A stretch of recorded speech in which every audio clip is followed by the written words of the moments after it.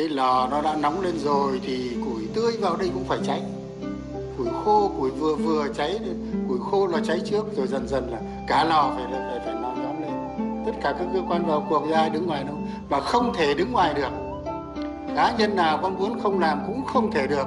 Thế mới là thành công. Tham nhũng là khuyết tật bẩm sinh của quyền lực, là một trong những nguy cơ đe dọa sự tồn vong của chế độ. Thời đại nào chế độ nào, quốc gia nào cũng có, không thể xóa ngay tận gốc tham nhũng trong một thời gian ngắn. Do vậy, trong đấu tranh phòng chống tham nhũng, không thể chủ quan nóng vội hay là thỏa mãn, không được né tránh, cầm chừng.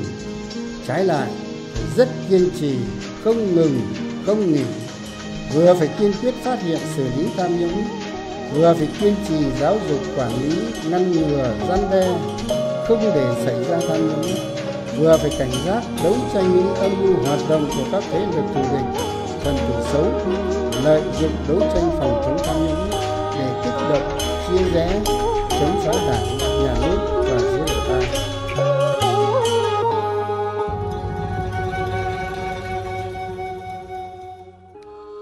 Một đời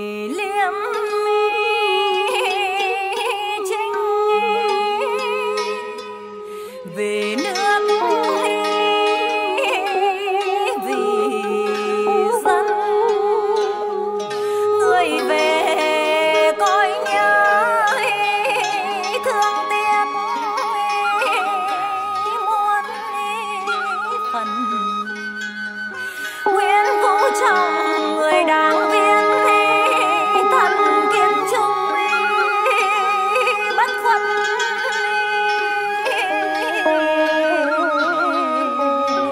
toàn đảng toàn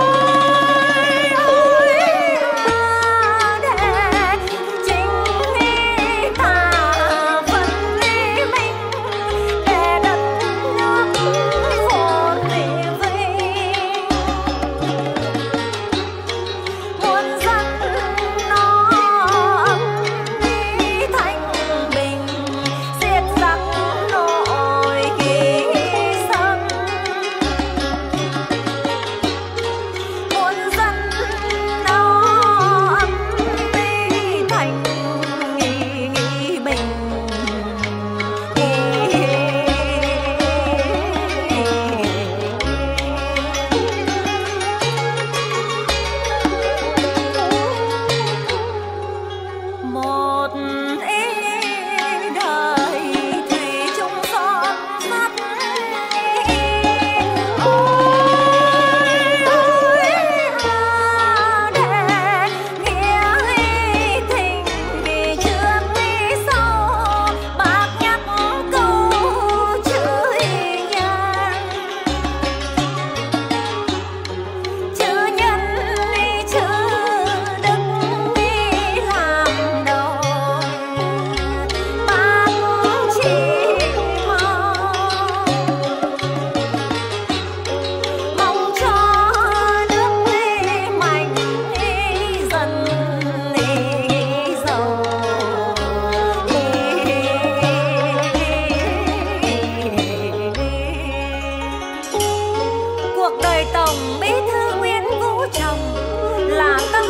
sáng trong nay và mai sau.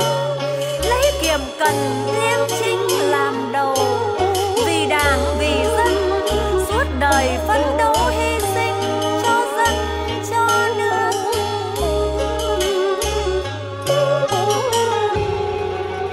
Một ý đời là tấm